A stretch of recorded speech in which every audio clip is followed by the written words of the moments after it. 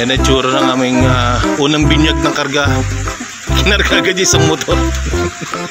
maulan kasi, medyo maulan. go, go, go! Sinusukat na. Hindi pala basta-basta magkabit ng sidecar, no? Talagang natatama pa, ninibil. Yung labi. Parang di siya pilipit. O ano, natama talaga na ayos. Yeah, so magandang araw po lahat sa inyo. Welcome back po sa aking channel. This is Angel B on air. Papakabitan po natin ang ng sidecar si Rusi 175 na kung tawagin natin ay si Mascolado. Dahil siya ay si Macho. No? Isang motor natin sa labas nakapayong. ang sa aking, ang aking si Azul, ano, nakapayong. Baka masipon.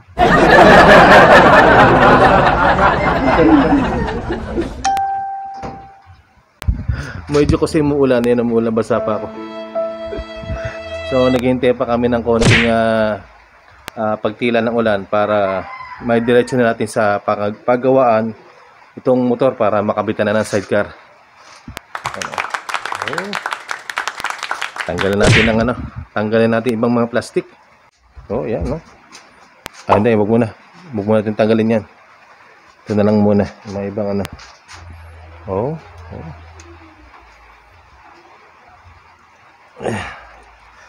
Tingnan natin iba para medyo pungugi naman pag may plastic. Para ang dumi-dumi tingnan eh. Yan, para medyo malinis tingnan. Yan.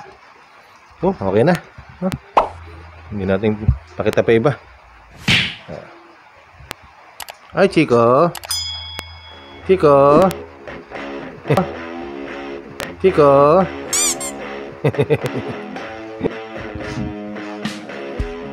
so, nagsuot muna ako ng long sleeve. Ah, parang natatamad ako magkapote. Kasi medyo mahina naman yung ulan. Didiretso na kami. Ha, biyahe na tayo. A few moments later. Ha? Yan. So, nasikaso na nila yung sidecar. Ah. Magandang hapon po. Nanay. Ah, na-bracket na nila yung ano, yung paglalagyan, pagkakabit ng sidecar. Lalagyan mo na lang yung bracket para magkabit yung sidecar. Ano yung sidecar na natin kakabit? Pogi oh. Wow. Meron pa lang ano, so meron pa mang may mga pa sila para may salpak. Lagyan pa siguro ng pintuan, no? Tapos yung pinaka bracket. Yan. Oh. Ano masarap pag umuulan nakaduyan.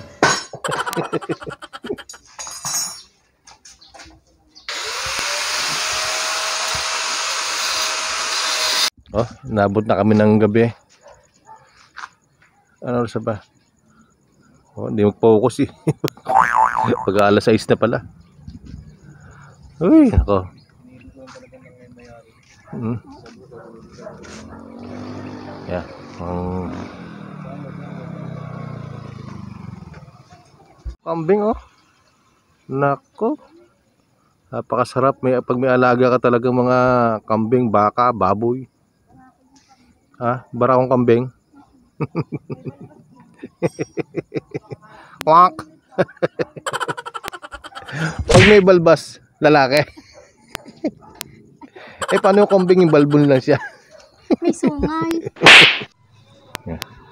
Sinusukat na.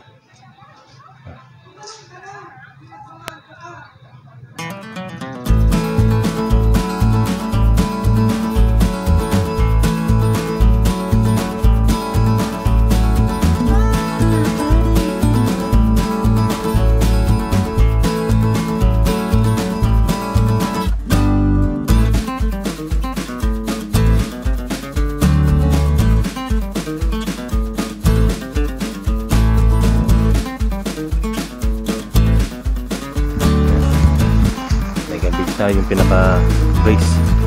Brace ba tawag ko? Oh, alignment. Yan na. nakakabit na yung ah, alignment dito sa kabila.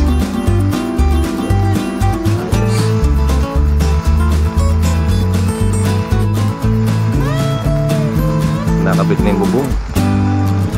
Na ang bubong. Buo na.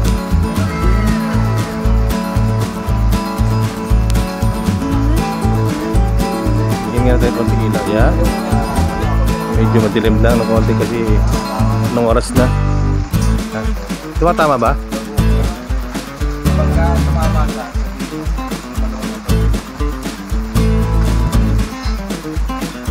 Okay na. Ayos.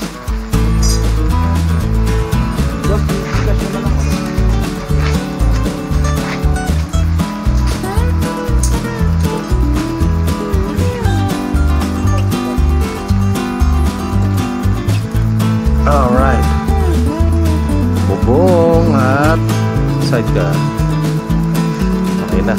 Buo na. Ayos. Kaya nga lang, umuulan. Time check lang. Oh. Ah, mag alas 8 na. Ibaga, maraming salamat. Alright. Salamat, salamat. Hey, ako lang, bipis lang ako sa'yo. Salamat sa'yo, Maraw. Ah, okay. Ayan, ay, maraming salamat sa'yo ah. Maraming salamat, okay. Sensya na kayo, medyo tumagal. Oo, sige, sige, sige. Yan ang tsura ng aming ah, unang binyag ng karga. Kinarga dyan sa motor.